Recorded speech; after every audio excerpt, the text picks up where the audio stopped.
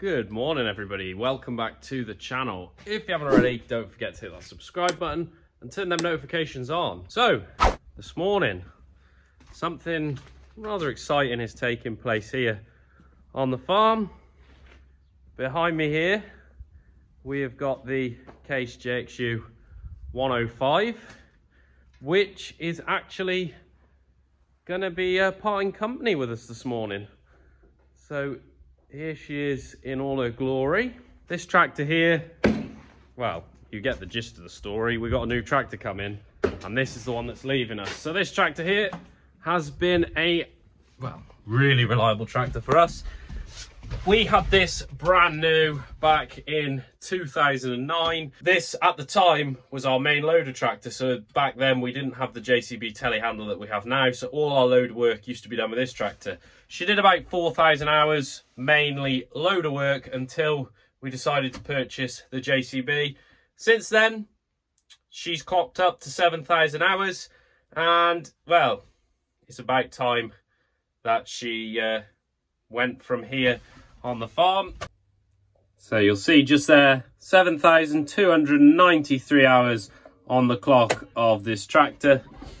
Cab looking rather empty, no control boxes, no CB anymore. The new tractor is supposed to be here within the next couple of hours. Um, I'm going to be quite sad to see this tractor go. Obviously, this came, as I said, here in 2009. I was 10 at the time, and this is really the tractor that I've, well, this is this has been my tractor on the farm. Um, this is what I sort of learned to drive tractors on. Um, I did the bulk of my, all of my tractor driving here on this one, really. So it's going to be quite, I don't know, a bit sad to see something go that's been here for so long.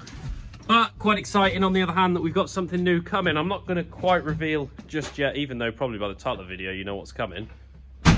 But here she is. So this is heading to Startin tractors at Twycross, which is obviously where we purchased the new tractor from. We decided to use Startin tractors for a couple of reasons, really. One, because we weren't really looking for another tractor. Um, I was just scrolling through their website back at the beginning of September and I found a tractor there that I thought would suit us. It's only got 900 hours on it and it's seven years old, so it's it's quite a good buy really. Well, yeah, we decided to to go with that. So they had the right tractor at the right time for us. I say the right time, we weren't really looking to change until the spring. That's when we were gonna start looking for another tractor. But sometimes with stuff like this, stuff doesn't come up at the right time. The right machine come up, slightly wrong timing. We bit the bullet and have gone with deciding to change it. The other reason we went with Startin tractors is because when we bought our Case Puma off them, the, the backup service we had after um, when we bought that tractor was second to none. It was absolutely brilliant. I would highly recommend anyone who is looking for a second-hand tractor or new, new case tractor whatever, Startin tractors at Twycross, I would definitely recommend them. So when we bought the Case Puma, which is Mark's tractor, we had a few issues with it. Not bad issues, we had a couple of oil leaks, you know, little niggly things that you get with second-hand machinery when you buy it. They were brilliant, straight away come out, sorted all the issues we had. We also had a, an issue with the air conditioning on the tractor. Now, they came out to that several times trying to fix it. It was one of them intermittent faults, which takes a long time to find. Fair play, 12 months down the line after us first diagnosing it with them, they were still coming out here and they ended up finding the problem in the end. All it was was a little earth wire under the seat was a bad connection. It kept cutting the air conditioning out. Um, but they stood by everything that we had to go wrong. It's not really, pro it's just teething problems. Everything that we had with the tractor, they sorted out. So to be fair, they were that good, you sort of choose to go with someone like that again.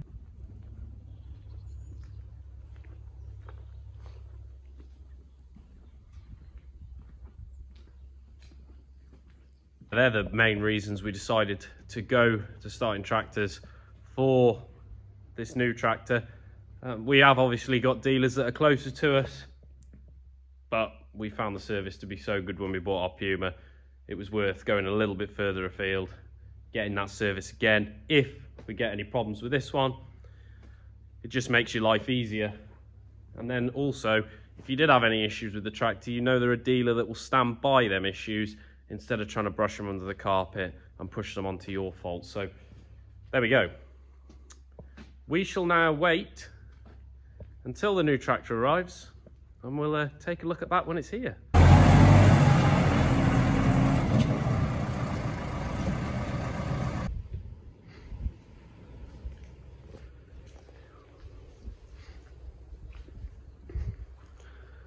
And there is the new tractor.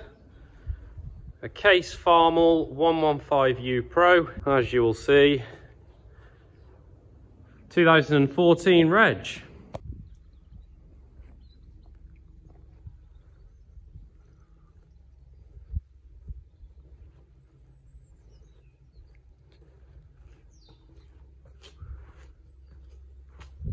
And as I said before, this tractor here only done about 950 hours. So, not too much to say about this one really. It's looking very nice and neat. Pretty much new. It's got a nice set of weights on the front. So like I was saying, we weren't really looking to actually uh, change the tractor at the time, but we found this. It was it was at the right sort of price, right age, and right hours. Very low hours for the age of it, so it was kind of a deal we couldn't turn down. And yeah, let's have a quick look up here in the cab.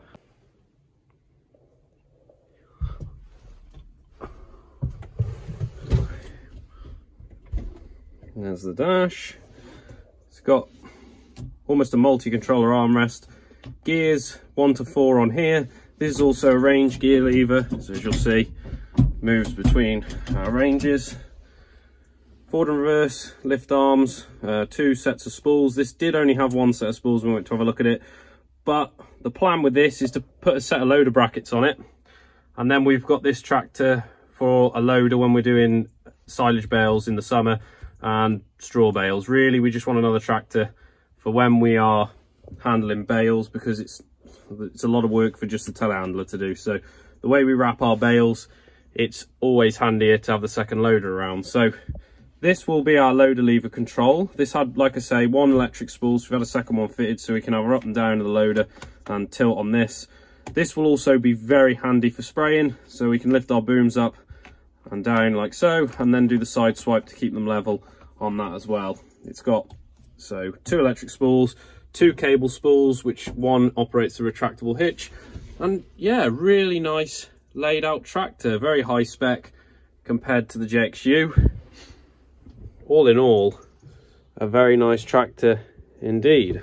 Not really much else to say about this tractor at the moment. Um, I've got a few little jobs to do with this, but nothing massive. We've finished all the drilling now, so no field work really to do with this. Um, it'll be interesting to see how this will perform for us. Have a bit more of a look at it in a bit more depth in another video a bit later on in the year. But for now, we'll wrap that one up there. Case Farmall 115U Pro is the new tractor on the farm. And yeah, I'm really excited to get out and do a little bit of work with this one. So, I'd like to thank you all for watching. Don't forget to like and subscribe. And we'll see you all in the next one.